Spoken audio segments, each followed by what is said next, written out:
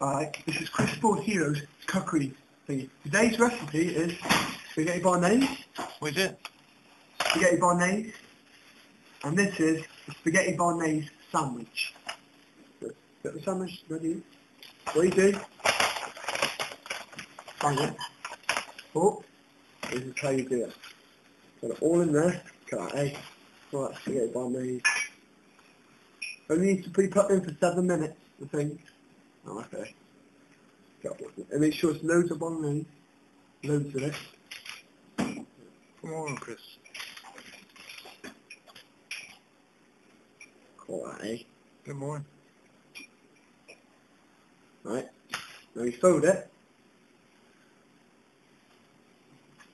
Now you eat it now. Mm. Bit hot.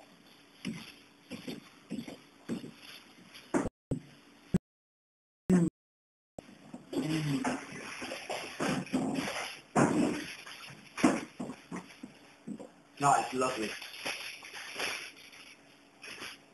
Bye. Hmm.